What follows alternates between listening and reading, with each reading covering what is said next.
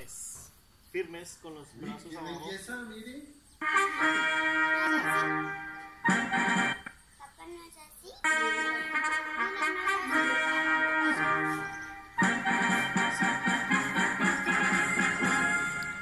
Mirando la bandera. La otra mano, Hanna. La otra mano, Janita.